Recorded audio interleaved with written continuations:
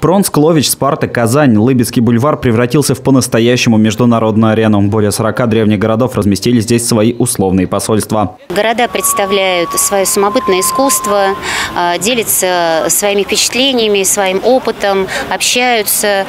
И а, в течение всех трех дней будут проходить мастер-классы, гости Рязани и а, жители, туристы. Все могут познакомиться очень подробно с историей городов. Практически у каждого посольства представлен народный промысел весел национальная одежда или украшения. Так у ворот с надписью «Смоленск» сидит гончар. Он изготавливает сосуд по старым традициям. Форма вазе придается рукой, а узор рисуется специальным приспособлением. Однако самое главное действие начинается на сцене. Здесь прошло официальное открытие посольской площади. Полномочный представитель президента Российской Федерации в Центральном федеральном округе Игорь Щеголев и губернатор Рязанской области Николай Любимов приняли непосредственное участие в церемонии. На площадь у сцены вынесли флаги всех стран и городов-участников, коих насчитывается больше 40. Полотна всех всех цветов и еще раз подчеркнули многонациональность торжества. Игорь Щеголев и Николай Любимов выступили с переводчиком. Приветственные слова звучали на трех языках – русском, английском и немецком. Сегодня мы продолжаем эти добрые традиции и принимаем гостей. Я благодарю всех представителей древних городов России и мира,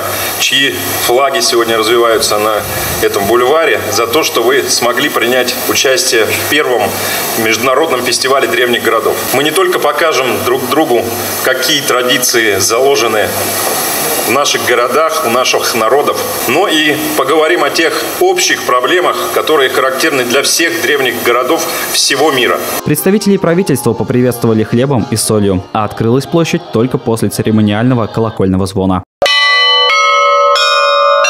После началась экскурсия по площади. Игорь Щеголев и Николай Любимов останавливались у каждого посольства, где представители города рассказывали и показывали свои основные промыслы. Настоящее действие разворачивалось у некоторых условных стен. Песни и пляски вместе с игрой на национальных инструментах, на которых также попробовали сыграть Николай Любимов и Игорь Щеголев. Народные музыканты оценили талант обоих мужчин. А после представителям правительства продемонстрировали национальный танец гости из Ловича, Болгарии.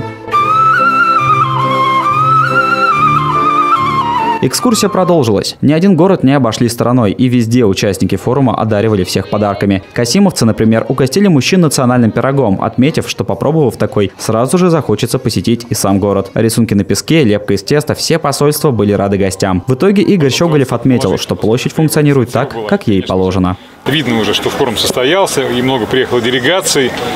И хочется, чтобы это было только началом, потому что до сих пор подобных собраний не было. Надеемся, что форум послужит именно этой задаче – объединить друзей, найти единомышленников и вместе делать так, чтобы и нашим жителям, и жителям других стран было интересно приезжать в Россию, а э, гражданам России ездить по историческим местам за рубежом.